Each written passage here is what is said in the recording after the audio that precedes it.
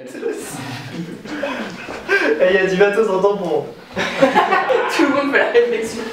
Silence, ça tourne Putain, ça doit être abondant tout ça. Hein. Arrête, ça me dégoûte. Pour les hémorragies. Il me regarde pas comme ça. Regarde ça. Mais non Mais arrêtez. Yeah, mais casse-toi Bon allez, Bon, allez. on ici. Donc, euh, bienvenue au confession.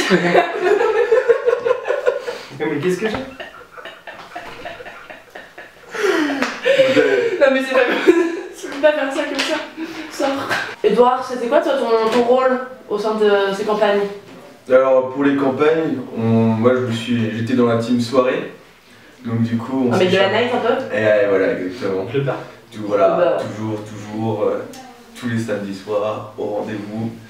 Et du coup, euh, bah, on a pas mal bossé, même beaucoup, beaucoup. Surtout pour trouver les salles, les animations, les idées.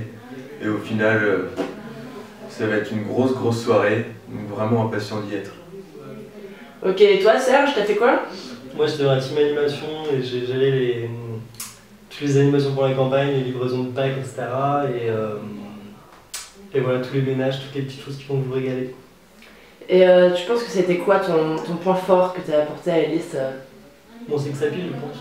Ah, rien que ça euh, Monsieur Henschel, t'aurais pas un petit secret à raconter devant la caméra? Une anecdote euh, croustillante sur T'es Moi j'ai une petite anecdote pour lui.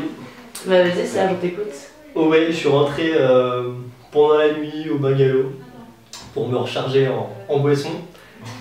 Trop gros mec. Et là j'arrive et Doudou sortait de la douche. Je me suis demandé pourquoi. Je l'ai vu un peu badant. Et je lui demande ce qui s'est passé et en fait il était tombé dans les fossés, dans les fossés euh, derrière les bungalows et il avait eu de la flamme partout. C'est qu'une rumeur, il ça. était resté un quart d'heure dans le fossé. euh, voilà. Petite anecdote. Ok, donc si euh, à deux vous deviez former un, un super héros, ce serait qui? Sachant qu'on est tous les deux assez baraques, on va dire. Mm. Je pense qu'elle serait quelqu'un d'assez musclé, euh, Très fort, très beau. très fort, très beau. Donc Un- un. mec- mec Comme Calinette quoi. Ouais, voilà. Un mec comme. Euh... Clark Kent, il a des lunettes hein Ouais. Je crois que voilà, si on se définit comme un super, ce serait Clark Kent. Ok. Et euh, voilà, vous avez pas un petit truc à rajouter à la caméra, une petite dédicace, un petit, euh, une personne que vous détestez et que vous avez envie de le dire maintenant euh, Si on doit dire si tu m'entends.